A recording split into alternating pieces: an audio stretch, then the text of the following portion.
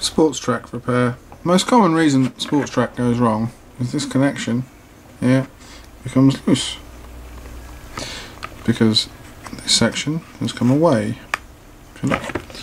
All you need to do gently push mm one handed not fun this back in.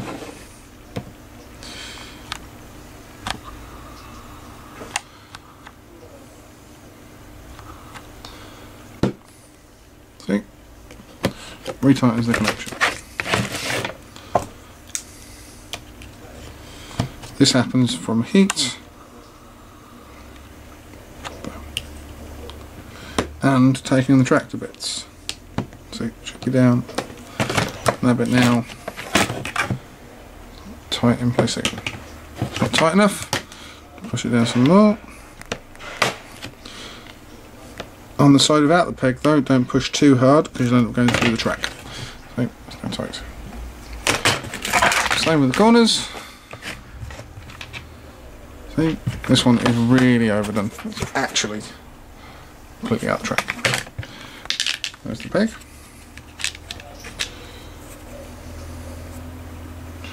Hole in the back.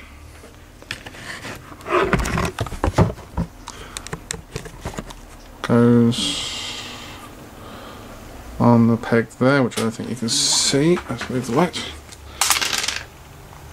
See, there's a peg there for it.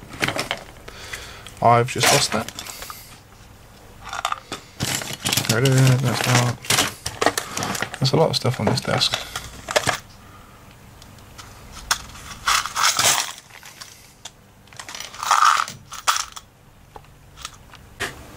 Found it.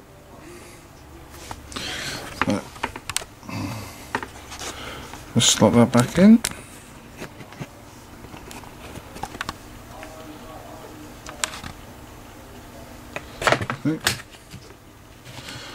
Push this down.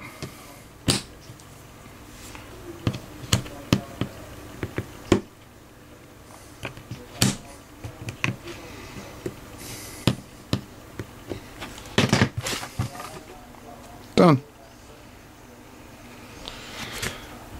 Sports track.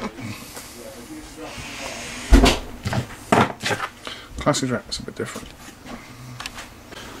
Start Track. Start Track's very different. The peg is actually joined. You see. Plastic runner in between should stop the expansion and contraction from happening. And the underside, the actual pegs to hold the rail in place are incredibly tiny. They shouldn't move in theory. And the rail is constantly 5 mil. Now, standard track the plastic expands, these rails will close up. You do occasionally need to put something about 5mm between them.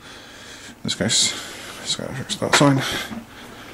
And that will bring them widen, widen them back up again. And with the heat, as it gets hot, it will expand faster, closing the track up. When it's cold, it will take a bit longer. That's how to repair track.